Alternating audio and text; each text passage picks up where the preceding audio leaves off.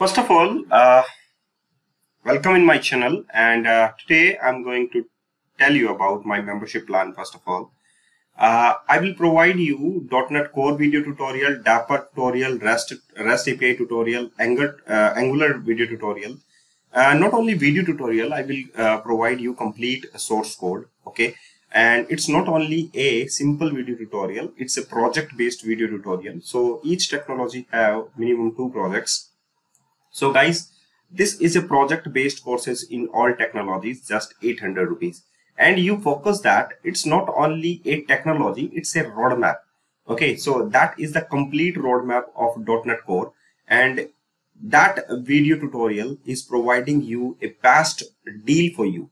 Okay so first of all I will provide you .NET Core and uh, video tutorial. It's not only based uh, it's not only simple video tutorial. Again I repeat you a project based video tutorial. So I will cover it uh, all design patterns and uh, solid patterns and uh, architectural designs okay? So uh, i will give you uh, clean architecture based projects okay? So that is. Net core and that. Net core used entity framework core and sql server. In further video i will use ADO.NET and the dapper. And mm, just after that i will use blazor for as a front end and angular as a front end and the react as a front end so use rest api. So it's a based on project uh, okay? And it's a roadmap so that we can cover all the topics of the full stack development. So this is only 800 rupees. I will uh, you will uh, you just pay me 800 rupees and get all video tutorials okay? So uh, day by day. And uh, if you are belong from other country just pay dollar 15 and it's only a one time fees. That is again i repeat you one time fees. Just only pay 800 rupees and get the source code and uh, complete video tutorials. Okay? So how to get the deal?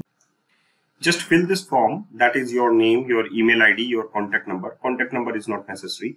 Transaction reference id order id or paypal id if you are belong from india just pay using upi id and uh, just add your transaction reference id uh, and after that uh, if you are belong from other country just use this my uh, paypal id and this is you can use this QR code also okay? And submit the form. After submitting your form you will get a notification uh, via email and uh, start your uh, journey for the membership okay? So uh, just find the link of this form in your video description box. So must to check your video description box okay uh, hurry up guys because it's a limited time deal I will provide. Uh, I'm giving you okay? So uh, hurry up guys. So we all know that uh, here we have a presentation layer and in the presentation layer we have a controller like users controller. Uh, in a users controller we have three methods and three API methods you can say. So the first one is the login and the second one is to register uh, so that is the login register and the get user by username. So here we have a register method and in the register method, I want to implement a MediatR features. Okay. And this MediatR feature actually called uh, command query. I mean to say that CQRS pattern. Okay. So the CQRS pattern, I mean to say uh, that is the clean architecture with the CQRS pattern. So this is my clean architecture layers that is app application, domain, infrastructure, persistence, and presentation layer. So uh, inside your presentation layer, that is the users controller and users controller call to the application layer. That application layer work here. So under the features uh, uh, directory, you can just create a command query. So just create commands.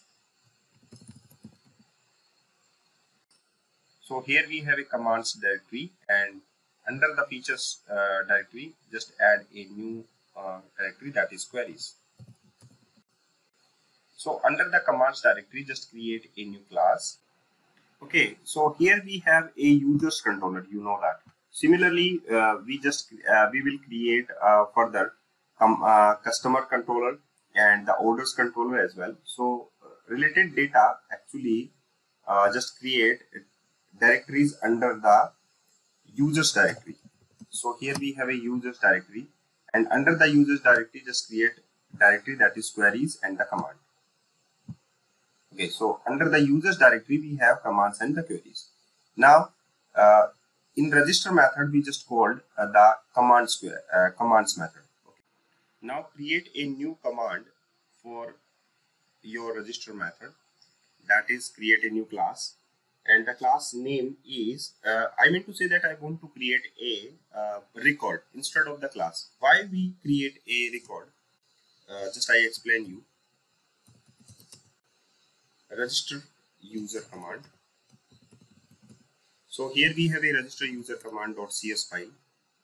So under the commands directory we have a new uh, directory that is the register user command here. Okay? So instead of class we just create a record. So also make it sealed record. And sealed record is uh, make it record instead of the class. Because record you know it's immutable type. So does not change after submit data. Okay? So here i am going to add string username. And string email and string password.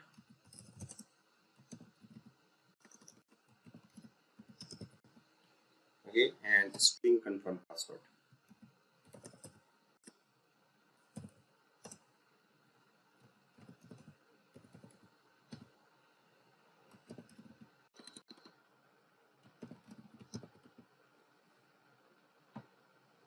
So uh, here we have a public sealed record that is register user command. And we all know that uh, it's a primary type constructor in in a record. Uh, so just instead of curly brackets you can use parentheses. That is the type of record here. Okay? So just use this one. Public sealed record register user command. Now just after that so here we have a register user command. And now uh, a register user command just create a new command handler register user command handler okay? Now just create a new command that is the, I mean to say that command handler. So register user user command handler dot cs file. And we all know that uh, that is also make it sealed because it's not inherit from other user. And we all know that register command user handler as a input to use register user command okay? But i want to create it a abstraction layer here. So under the abstraction we just create a cqrs directory. That is the cqrs and under the cqrs directory we just create a new empty file here and that make it i command handler. Okay? So just use i command handler dot cs okay? So here we have a i command handler and it's a type of uh, to interface here. That is input t command and we all know that uh, t command okay? So uh, and output you can take it here. And that i command handler is inherit from i request handler that is media target okay? I i request handler i request handler. I request handler is directly connected with the MediatR. So you can use i request handler under your uh, register user handler here. But right now i'm creating a new abstraction layer. That is i command handler. That is input is here. That is t command. Uh, okay. And that is i request handler here. So here i'm using i request handler. And you know that i request handler is actually existing in MediatR package. Okay. So uh, here we have installed MediatR package. Use local version. Find and install latest version. Fine. So i request handler that I request handler is used uh, uh, command and the response. So what is the command is here? That is the input type. That is the command. It's the input, but right now I'm using output type.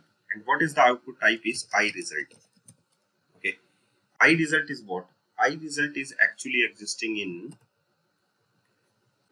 Okay, so you know that i command handler is used input t command. And what is the input t command is here? But later on it's a i request handler. That is the input type and the output type. So output type is what? I result is uh, just a abstraction i result. And under the i result we just have just create a new i result.cs file. And i result actually give me a response okay? So it will take it bool is success. And that is get. And next one is bool is failure. And that is get. Okay and now that that is error.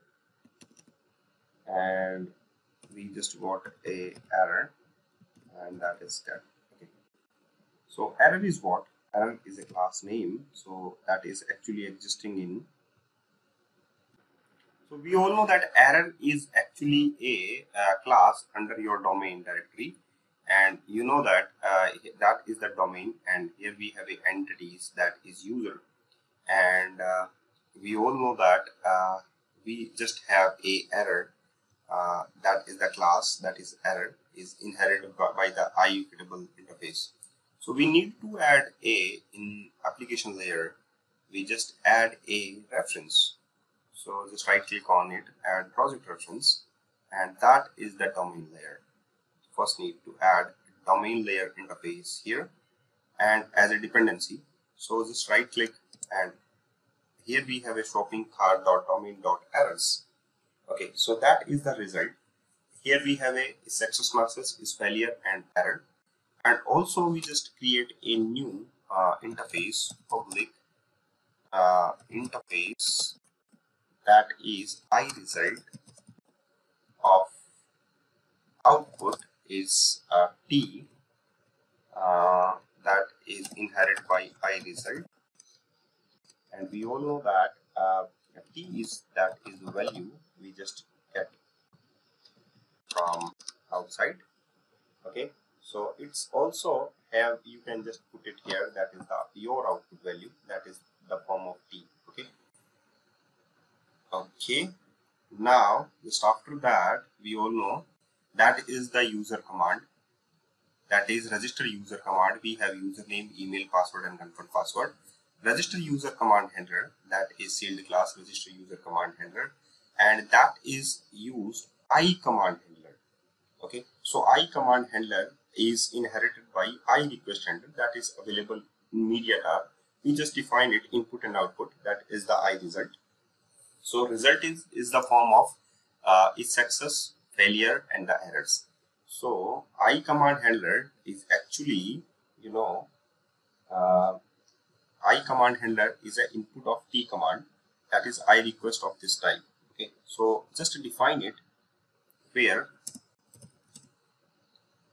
uh, where uh, the t command is i command. Oops. That is that is i command. I mean to say that is i command. Okay. So uh, i command handler is a type of interface Okay, so I got an error message i command handler and that i command handler is a input type t command.